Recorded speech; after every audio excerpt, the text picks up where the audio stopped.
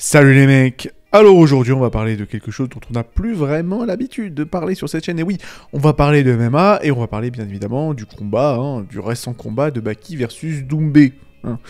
Euh, qui s'est passé il n'y a pas si longtemps que ça. Évidemment, là, il s'agit d'un combat qui a fait couler beaucoup d'encre. Hein, voilà, c'est pas moi qui vais vous l'apprendre. Avec une fin de combat, bon, euh, controversée. Voilà, une fin de combat d'ailleurs qui appelle à une revanche euh, qui se passera, j'imagine, dans pas trop longtemps. Bref, à la limite, c'est pas vraiment très intéressant. Bon, déjà, il faut savoir que moi, de base, quand j'ai commencé effectivement à ouvrir cette chaîne, ben, je m'étais dit, bon, ok, je vais parler d'animé, je vais parler de jeux vidéo, mais je vais également parler de MMA, parce qu'il faut savoir que je suis un mordu de MMA, j'en ai pratiqué pendant quand même pas mal d'années. Donc voilà, on va dire que je voulais que ce soit quand même un des sujets phares de cette chaîne. Bon, malheureusement, euh, effectivement, comme vous pouvez le voir, je pense que là, bah, j'en parle plus trop. Je, ne fais plus vraiment de vidéos de MMA, tout simplement parce que toutes les vidéos de MMA que j'ai faites ont bidax. Voilà, tout simplement.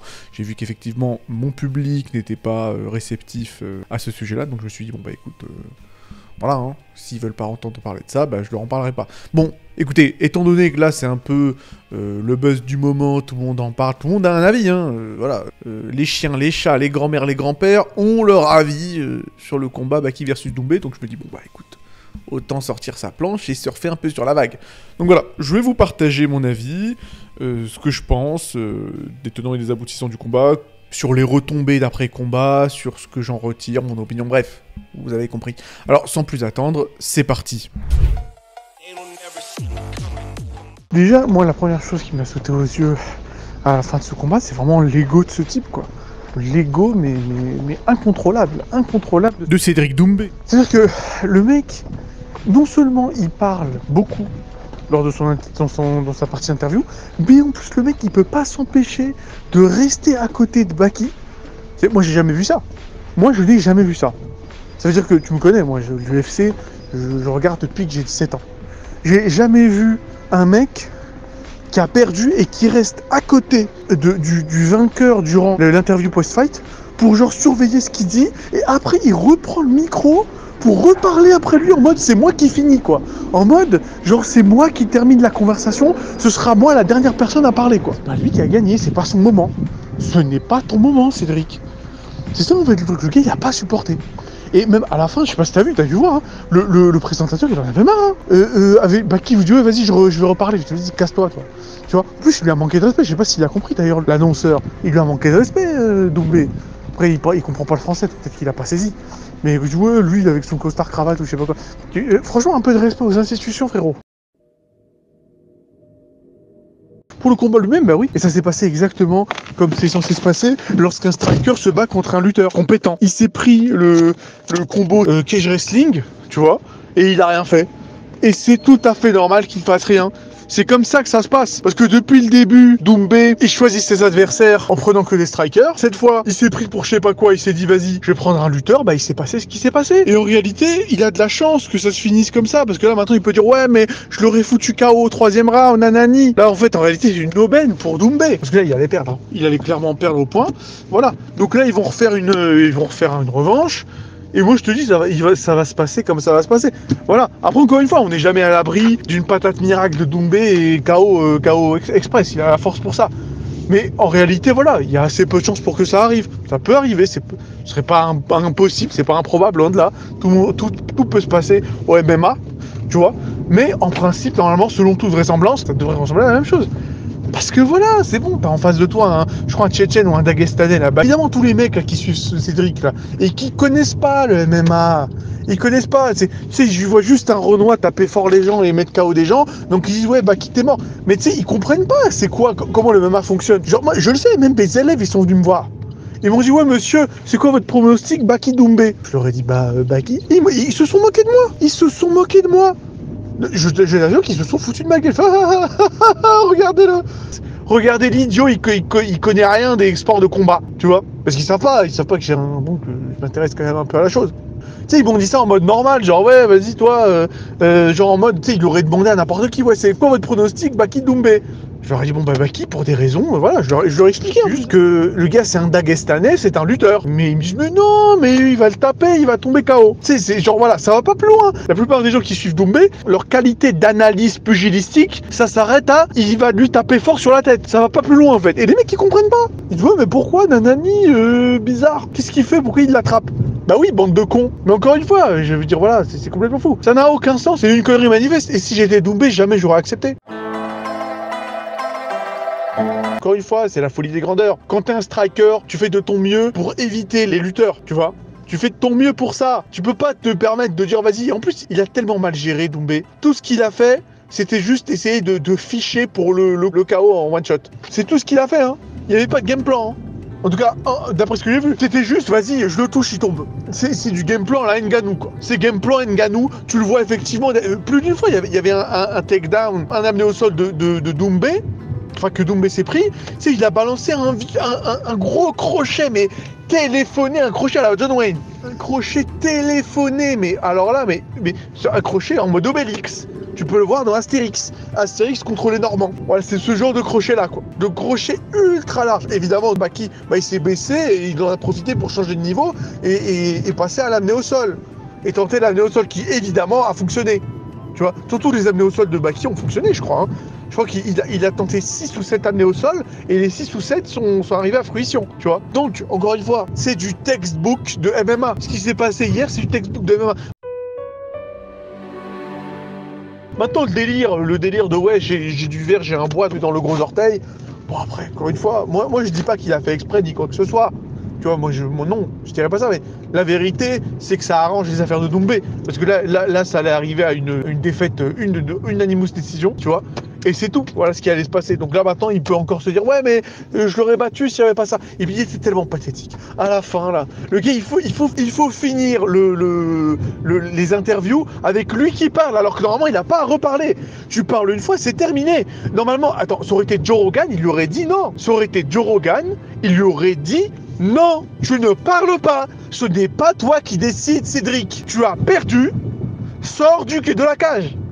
Tu as perdu. Sors de la cage. C'est tout. Ça va pas plus loin. C'est un truc de fou. Mais à la fin, le gars il dit ouais, je vais le mettre KO.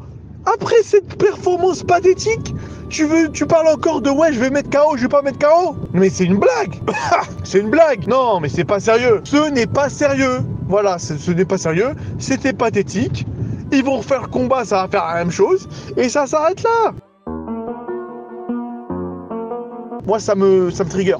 Ça me trigger le délire avec l'islam de, de, parce que ça se voit que c'est de la com. Pourquoi tu parles du ramadan lors d'un combat de MMA Pourquoi tu parles de ça, frérot? Ça n'a rien à voir. Et je dirais même plus que c'est pas bien de faire ça. C'est pas bien. Parce que tout un chacun, on sait que le MMA, ça va à l'encontre de- des préceptes de, l'islam. Deux musulmans qui se battent pour l'entertainment en se tapant sur la tête et en risquant des CTI, ça, c'est pas quelque chose de, de- d'islamique. Encore une fois, on, fait tous des péchés, il n'y a pas de souci, je, je les juge pas, mais au moins ne parle pas de ça, quoi. Ne parle pas de ça sur un ring. C'est ridicule. Tout ça, c'est de la com, parce qu'il sait très bien que c'est. voilà. Euh, la, communauté musulmane est vraiment derrière lui, et tout ça, cette histoire, c'est juste de la com. Moi, je suis désolé, on peut dire ce qu'on veut. C'est une histoire de com, cette histoire. C'est tout, ça va pas plus loin. hein. C'est de la com, de A à Z. Voilà. Il est peut-être peut-être un mec pieux, sur ça, à la limite, je, je- je n'en doute pas. Tu vois Je n'en doute pas. Mais ce délire euh, d'afficher sa religion, quelque chose qui techniquement devrait être personnel et rester personnel, comme ça, c'est clairement pour dire ouais, regardez les mecs, j'ai perdu, mais je suis musulman, n'oubliez pas, hein, continuez à, continuez à cliquer. Je trouve ça, je trouve ça assez dégoûtant. Je vais pas te mentir, je trouve ça assez dégoûtant. Je trouve ça, je trouve ça assez révoltant. C'est vraiment, euh, voilà, la religion c'est sacré, mon ami. La religion c'est sacré. Ne l'utilise pas pour faire de la com, s'il te plaît. Voilà. Tu as perdu de manière assez pitoyable. Donc ça c'est une chose. Donc s'il te plaît, n'en rajoute pas. Et n'utilise pas la religion pour essayer euh, voilà, d'utiliser ça un peu comme un, comme un filet de sécurité. En mode j'ai perdu mais bon, il y a le ramadan. Oh, mais donc t'as juste perdu, c'est tout. Y a pas ouais ceci, cela. T'as perdu, c'est tout. T'as perdu, point barre. Y a pas t'as perdu, mais non. T'as perdu, mais rien. T'as perdu. C'est tout. D'ailleurs, j'ai bien aimé, bah, qu'à un moment il dit oui, euh, non, mais de toute manière, euh, peu importe les blessures, ceci, cela, c'est une victoire. Tu voyais Doumbé, mais vert, vert derrière. Il était vert. Il était vert, franchement. Non mais voilà, bon, encore une fois, de toutes les manières, tout ça c'est assez pathétique. Et en plus, tu sens quand même la vieille guéguerre entre lui et Lopez. Comme si on avait que ça à faire. Tu vois, c'est encore la, la, la sempiternelle guéguerre entre lui et Lopez. C'est assez... Non mais bon, bref. Je préfère pas en parler, de toutes les manières, euh, ça sert à rien. Bref, euh, combat pathétique. Voilà, tout ce que j'ai à dire.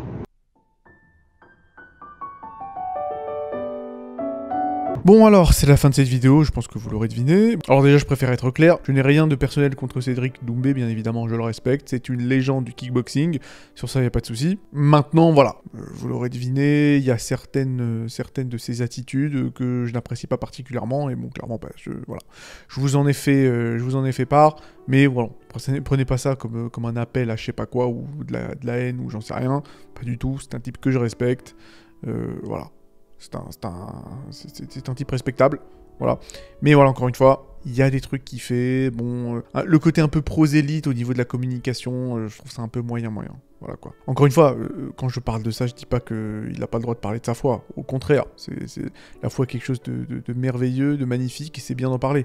Mais la manière dont Doumbé met en scène sa foi, je sais pas. J'ai du mal à, à considérer ça comme étant authentique. Voilà. Avec le fait qu'il se soit fait greffer une barbe, carrément, d'ailleurs, je savais même pas que c'était possible de se faire greffer une barbe, ben voilà quoi. Le fait qu'il se soit greffé une barbe, tu sens quand même qu'il y a un côté visuel dans, la manière dont euh, Cédric euh, met en scène sa foi, en fait. C'est vraiment bon, je suis musulman, donc il me faut la barbe. Bah non, en fait.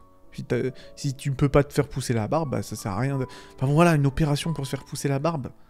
C'est ça le, la foi C'est ça la religion C'est ça l'islam?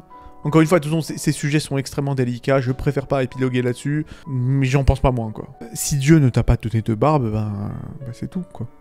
T'as pas à contrevenir euh, à cela avec de la chirurgie esthétique. Enfin, pas, ça me semble évident, enfin bref. Tu prends Baki, par exemple, j'ai pas l'impression, enfin, je veux dire, le mec, il rentre dans la cage, il prie, mais j'ai pas l'impression que c'est pour les caméras, quoi. Tu vois? Alors que Doumbé, je sais pas. Il y a quand même un côté... Euh, voilà. C'est un showman, c'est un showman, c'est un mec effectivement qui fait le spectacle, et sur ça il n'y a pas de souci, et j'ai envie de dire c'est ce qu'on aime dans le MMA, mais euh, utiliser sa foi et euh, la religion de l'islam comme un accessoire pour son spectacle, voilà, je trouve ça assez moyen. Au-delà même de son attitude très discutable hein, durant l'interview de post voilà. Mais encore une fois, j'ai rien contre le mec, je le respecte, c'est juste que bon, je vous donne mon opinion tout simplement, voilà sans rancune. Quoi qu'il en soit, mettez un like si la vidéo vous a plu, mettez la cloche, abonnez-vous pour encourager la chaîne, prenez soin de vous, à la prochaine et dites-moi si euh, vous, voudriez que je revienne avec des vidéos de MMA, voilà, tout simplement. Allez,